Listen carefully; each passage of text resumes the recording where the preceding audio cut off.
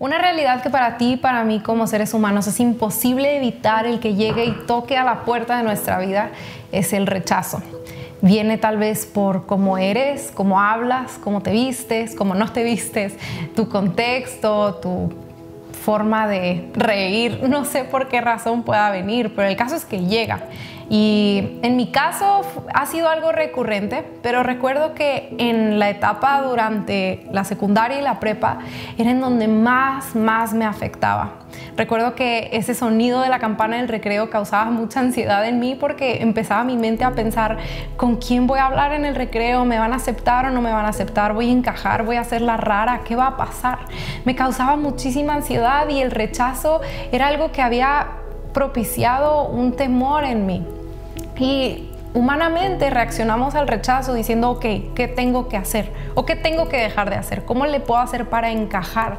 Y, eso me llevó a mí a comprometer muchas de mis convicciones, a dejar de ser lo que realmente yo era con tal de alcanzar a estar en ese grupo de personas.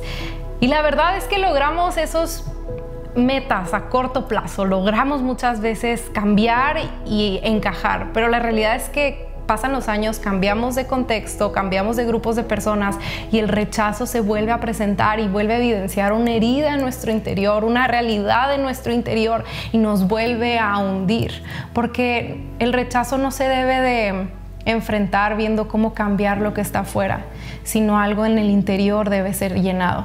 Y yo te quiero compartir una historia que hace un poco tiempo mis pastores hablaron sobre mi vida y trajo tanta luz alrededor del tema del rechazo.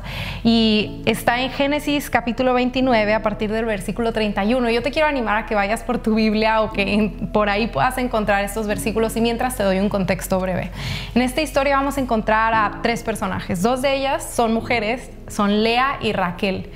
Ellas son hermanas y probablemente el nombre de Raquel te suena más familiar porque ella, podemos decir aquí en esta historia, es la popular.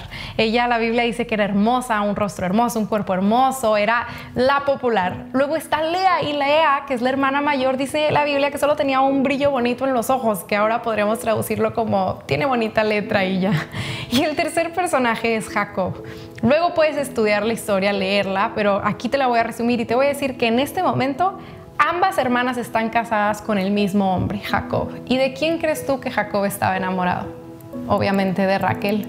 Lea estaba siendo rechazada constantemente por su esposo Jacob, porque Jacob estaba perdidamente enamorado de, Raquel. Y no me puedo imaginar el contexto que vivió Lea, constantemente siendo comparada por su hermana, a todo mundo viendo a su hermana y ella constantemente siendo rechazada. Entonces, en medio de eso es que vamos a leer el versículo 31 y dice lo siguiente. Cuando el Señor vio que Lea no era amada, y voy a hacer una pausa ahí, me fascina como Dios, aun cuando tú y yo intentamos cubrir nuestro dolor, Él siempre conoce nuestro corazón. Y dice, cuando vio que no era amada, le concedió que tuviera hijos, pero Raquel no podía concebir. Así que Lea quedó embarazada y dio a luz un hijo a quien llamó Rubén, porque dijo, el Señor se ha dado cuenta de mi sufrimiento y ahora mi esposo me amará. Ok, vamos a hacer una pausa ahí. Dios en su gran amor para con Lea le concede tener un hijo.